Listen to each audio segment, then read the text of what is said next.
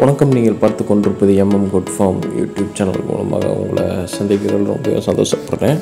நம்ம சேனல் பிடிச்சிருந்தா சப்ஸ்கிரைப் பண்ணுங்கள் அதே மாதிரி பக்கத்துலேயே பில்லைக்கான இருக்கும். அதே மறக்காமல் ப்ரெஸ் பண்ணி வச்சுக்கோங்க. அப்படின்னா தான் நம்ம போகிற ஒவ்வொரு வீடியோ உங்களுக்கு நோட்டிஃபிகேஷன் வரும். நீங்களும் ஈஸியாக பார்த்து தெரிஞ்சுக்கலாம்.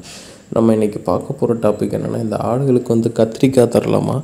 எந்த அளவில் தரணும்? அதே மாதிரி இது கொடுத்தா என்ன விதமான நன்மைகள் நடக்கும்? அதே மாதிரி அளவுக்கு அதிகமாக கொடுத்தா எந்த மாதிரி தீமைகள் நடக்குன்ற ஒரு முழு காணொலியாக தான் இருக்க போது பிடிச்சிருந்தா ஸ்கிப் பண்ணாமல் பாருங்கள் முழுமையாக பார்த்தா தான் நம்ம சொல்ல வரையதும் புரியும். அதுவும் இல்லாமல் நம்ம சொல்கிற மாதிரி நீங்கள் செஞ்சாலே ரொம்ப நல்லா வளர்ந்து வரும். ஆடுகள் நம்ம விதைகள் வித்துட்டு வந்துட்டுருக்கோம் அகத்தி கோய் ஃபஸ்ட் டுவெண்ட்டி நைன் சவுண்டல் வெளி மசாலா உங்களுக்கு விதைகள் எதுவும் தேவைன்னா கண்டிப்பான முறையில் கான்டாக்ட் பண்ணுங்கள் காக்கிலோலேருந்து நம்ம வந்து விதைகள் கொடுத்துட்ருக்கோம் கொரியர் மூலமாக தமிழ்நாடு முழுவதும் டிரான்ஸ்போர்ட் பண்ணிகிட்ருக்கோம் எல்லாமே நல்ல முறையில் முளைப்புத்திறன் உள்ளது தான். எதுவுமே முளைப்புத்திறன் இல்லாதது நம்ம விற்க மாட்டோம். நம்ம முன்கூட்டியே டெஸ்ட் பண்ணி பார்த்துட்டோம். நல்லாவே வளர்ந்து வருது. நம்ம பொதுவாகவே இந்த வெள்ளாடுகளும் சரி அதே மாதிரி செம்மறி ஆடுகளும் சரி ஆடுகளுக்கு வந்து அடர் தீவனமே கொடுத்து பழகுறது இப்போ இருக்க காலகட்டங்களில் பழகிட்டு இருக்காங்க. ஆனால் இன்னமும் கிராமங்களில் நிறைய பேர் வந்து இந்த கத்திரிக்காயை வந்து முத்துன கத்திரிக்காயை வாங்கி கிலோ கணக்கில் கிட்ட கிட்ட- கிட்டத்தட்ட ஒரு சாக்கு அந்த மாதிரி மூணு ஐம்பது கிலோ அந்த மாதிரி தூக்கிக்கிறாங்க. தூக்கிட்டு டெய்லியும் ஒரு நூறு கிராம் அந்த மாதிரி அடுத்தடுத்த ஆடுகளுக்கு வந்து வைக்கிறாங்க. முழுசாக போடக்கூடாது முழுசாக போட்டோம்னா ஆடுகள் வந்து அவசரத்தில் தின்றுச்சுன்னா அது வந்து செரிமான பிரச்சனையே ஏற்பட்டுரும்.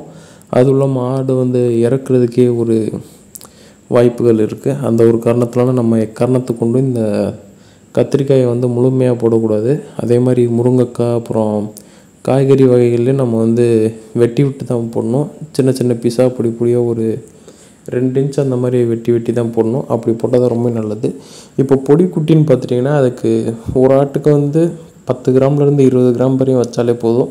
அதுக்கு மேலே வச்சோம்னா ஆடுகளுக்கு வந்து வயிறு ஊத்தமாகி போயிடும் வயிறு ஊத்தமாகி போச்சுன்னா அப்புறம் ஆடுகள் வந்து வழக்கம் போல் இறப்பு தான் ஏற்படும். அதனால் நம்ம வந்து ஆடுகளுக்கு வந்து கம்மியான முறையில் இந்த கத்திரிக்காயெல்லாம் கொடுக்குறதா இருந்துச்சுன்னா நம்ம வந்து இது பண்ணணும். ஆனால் இது ஒரு வேலை பழுன்னே சொல்லலாம். ஏன்னா அதிகமான அளவில் கிராமங்களில் மட்டும்தான் இதை வந்து இன்னும் நடைமுறையில் இருக்குது மற்ற இப்போ சிட்டி அதே மாதிரி பறன் மேலே ஆடு வளர்க்குறவங்க அந்த மாதிரி இருக்கவங்கலாம் சுத்தமாக இந்த காய்கறியெல்லாம் கழிச்சிடுறாங்க. குறிப்பாக இந்த கடை வச்சுருக்கவங்க அதே மாதிரி சொந்தக்காரங்க அந்த மாதிரி நிறைய பேர் இருப்பாங்க. அவங்க தான் இந்த மாதிரி வாங்கி போட்டு அப்படியே முத்தனை கத்திரிக்காய் அப்புறம் ஒரு சில கழிக்கிற கத்திரிக்காய் அந்த மாதிரி காய்கறிலேயே வச்சு ஆடுகளை வளர்த்துட்டு வந்துட்டுருக்காங்க அதுவும் இதுவும் ஒரு நல்ல இதுன்னா சொல்லலாம். ஆனால் கொடுக்குற அளவு வந்து கொஞ்சம் கம்மியாக கொடுக்கணும். பெரிய ஆடாக இருந்துச்சுன்னா நம்ம வந்து ஒரு ஆட்டுக்கு வந்து நூறு கிராம் நூறு கிராம் அப்படி நூற்றம்பது கிராம் அந்த மாதிரி கூட கொடுக்கலாம். அதுக்கு முன்னாடி எப்படின்னா அது செரிமானம் ஆக ஆக அதனுடைய சாணத்திலே தெரியும். அதை பார்த்து தான் நம்ம வந்து அதை வந்து கணிக்க முடியும். அதுவும் இல்லாமல் அதனுடைய வயிறு வந்து ஊத்தமாக இருக்குன்னா ரொம்பவும் ஒரு பலூன் மாதிரி ரெண்டு சைடும் ஊதி போயிருக்கும். அது வந்து குறையவே குறையாது. அந்த மாதிரி சூழ்நிலையில் நம்ம வந்து ஆடுகளுக்கு வந்து குறிப்பாக இந்த அடர்த்தீவனம் போடுறதை நிப்பாட்டிடணும். அதே மாதிரி இந்த கத்திரிக்காய் அந்த மாதிரி இதுகளும் கொடுக்குறத நம்ம நிப்பாட்டினோம்னா தான் ரொம்ப நல்லாயிருக்கும்.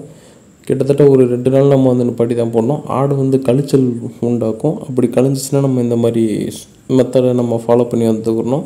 அப்படி வந்தால் தான் ரொம்ப நல்லது. அதையும் இல்லாமல் நம்ம வந்து ஆடுக்கு வந்து செரிமானத்தன்மை அதிகமான அளவில் நடக்கிறோம்னா நம்ம வந்து ஓம ஓட்டுற அதே மாதிரி வெத்தலை மிளகு இதெல்லாம் அரைச்சி ஒரு மூணு வத்தலை இல்லாட்டி நாலு வத்தலை அதே மாதிரி மிளகுன்னு பார்த்துட்டிங்கன்னா ஒரு பத்து மிளகு எடுத்து அப்படியே மிக்சியில் அரைச்சி ஆட்டுக்கு வந்து வாயில் ஊற்றி விட்டிங்கன்னா ரொம்ப நல்லது. அதுவும் இல்லாமல் ஓமோட்டரும் வாயில் ஊற்றி விட்டணும் ஒரு பத்து எம்எல்லேருந்து இருபது எம்எல்லாச்சும் ஆட்டுக்கு வாய்க்கில் நம்ம வந்து அடித்து விட்டா தான் நம்ம வந்து ஆடுகளை வந்து காப்பாற்ற முடியும். குறிப்பாக இந்த வயிற்று உப்புசம் இந்த ஒரு பிரச்சனை தான் ரொம்பவும் ஒரு பெரிய விஷயமாகவே ஏற்படும். ஏன்னா இது நம்ம வந்து அடல் தீவனம் வச்சாலும் சரி அதுவும் இல்லாமல் இந்த காய்கறி வச்சாலும் சரி ஆடுகளுக்கு வந்து இந்த எப்படின்னா இந்த கழிச்சல் பிரச்சனை மட்டும் அடிக்கடி உண்டாகும். இது நோய் அந்த மாதிரி சொல்ல முடியாது. இது வந்து வயிற்றுப்போக்கு அந்த மாதிரி சொல்லலாம். அதுவும் இல்லாமல் ஆடுகளுக்கு வந்து நம்ம டெய்லியும் கரெக்டாக வெயிட்டுக்கு ஏற்ற மாதிரி நம்ம வந்து கிராம் கணக்கில் கொடுத்துட்டு வந்தால் தான் ரொம்ப நல்லது. அளவுக்கு அதிகமாக போயிடுச்சுன்னா அமிர்தமும் நஞ்சுன்ற மாதிரி தான் ஒரு இதாக மாறிடும். அதனால நம்ம வந்து ஆடுகளுக்கு வந்து கம்மியாகவே கொடுக்குறது ட்ரை பண்ணுங்கள் அதான் ரொம்ப நல்லது. அதனுடைய சாணத்தை பார்த்தாலே தெரியும் கட்டியாக இருக்கக்கூடாது. புழுக்க மாதிரி உருண்டை உருண்டையாக இருக்கணும். அப்படி உருண்டை உருண்டையாக இருந்தால் தான் ஆட்டினுடைய வயிற்று செரிமானம் நல்லாவே போகுது. அடுத்தடுத்து நம்ம கொஞ்சம் கொஞ்சமாக போக போக கூட்டிக்கிட்டே போகணும். அப்படி கூட்டிக்கிட்டே போனோன்னா அது எப்படின்னா ஆட்டினுடைய வளர்ச்சிக்கு ஏற்ற மாதிரி நம்ம ஊட்டச்சத்து உணவு அந்த மாதிரிலாம் கொடுத்தா தான் ரொம்பவே நல்லாயிருக்கும். ஏன்னா அந்த மாதிரி கொடுத்தா தான் வளர்ச்சியும் ரொம்ப வெகு வேகமாகவும் வளர்ந்து வரும். நம்ம பெரிய ஆட்டுக்கு ஒரு பத்து கிலோ இருக்க ஆட்டுக்கு வந்து நம்ம பத்து கிராம் அந்த மாதிரி கொடுத்தோம்னா அது வந்து செட்டே ஆகாது. ஒரு நூற்றம்பது கிராம்லேருந்து இரநூறு கிராம் வரையும் நம்ம கொடுத்தா ரொம்ப நல்லது. ஆனால் கொடுத்துட்டு அப்பப்போ நம்ம வழக்கம் போல் சொன்ன மாதிரி தான். அதனுடைய சாணங்களை பார்த்தாலே போதும். அது புழுக்க வடிவத்தில் வந்துச்சுன்னா அந்த ஆடுக்கு வந்து செரிமானத்தன்மை நல்லாவே இருக்குது அதிலிருந்து கொஞ்சம் நம்ம கூட்டி வச்சிட்டோம்னா ரொம்ப நல்லாயிருக்கும் நம்ம இந்த கத்திரிக்காயில் என்னென்ன புரதச்சத்து அதே மாதிரி இருக்குன்றதை பார்த்துருவோம். இப்போ கத்திரிக்காய்னு நினச்சிட்டிங்கன்னா ப்ரோட்டீன் கண்டென்ட் மட்டும் கிட்டத்தட்ட ஜீரோ புள்ளி தொண்ணூத்தெட்டு சதவீதம் புரதச்சத்து மட்டும் சுகர்னு பார்த்துட்டிங்கன்னா மூணு புள்ளி ஐம்பத்தி நாலு கிராம் இருக்குது அதே மாதிரி ஆட்டுக்கு வந்து ஃபைபர் இந்த கத்திரிக்காயில் ஃபைபர் கண்டென்ட் பார்த்துட்டிங்கன்னா மூணு கிராம் தான் இருக்குது நம்ம பார்க்குற அளவுன்னு பார்த்துட்டிங்கன்னா ஒரு நூறு கிராம் கத்திரிக்காயில் என்னென்ன அளவு கண்டென்ட் இருக்குன்றது தான் பார்க்குறோம். ஏன்னா ஆட்டுக்கு வந்து சராசரியாக ஒரு நூறு கிராம் அந்த ரேஞ்சுக்குள்ளே தான் நம்ம கொடுக்குற மாதிரி இருக்கும். அதுக்கு மேலே கொடுக்குற மாதிரி இருக்குது அதனால நம்ம வந்து அந்த நூறு கிராம் குள்ளேயே பார்த்துட்ருக்கோம். இது நல்ல ஒரு இதுன்னே சொல்லலாம். ஏன்னா காய்கறி வேஸ்ட்டு வச்சே நிறைய சிட்டிலேயே வளர்த்துட்ருக்காங்க. இப்போ வந்து இருக்க காலகட்டங்களில் கிராமங்களில் மட்டும் நம்ம இந்த மாதிரி மெத்தடை ஃபாலோ பண்ணுறதில்ல இப்போ இருக்க காலகட்டங்களில் கிராமம் அதே மாதிரி கிராமத்தை பின்பற்றி சிட்டிலையும் வளர்த்துட்டு வந்துட்டுருக்காங்க ரொம்பவும் ஒரு அழகான விஷயம் தான் சொல்லலாம். ஏன்னா புல் எதுவுமே கிடைக்காது. அப்படி இருந்தும் வளர்த்துட்டு வந்துட்டுருக்காங்க. இந்த மாதிரி காய்கறி அந்த மாதிரி இதெல்லாம் கழிவெல்லாம் போட்டு நல்லாவே வளர்ந்து வருது ஆடுகளும். தொடர்ந்து நம்ம சேனல் அதே மாதிரி பிளேலிஸ்ட்லலாம் நம்ம வந்து இனி வர வீடியோ எல்லாமே போட்டிருப்பேன். உங்களுக்கு பயனுள்ளதாக தான் இருக்கும். அதுவும் இல்லாமல் உங்களுக்கு சந்தேகம் எதுவும் ஆடுகளை பற்றி இருந்துச்சுன்னா நீங்கள் கண்டிப்பாக நம்மள கமெண்ட்டில் தெரிவிங்க.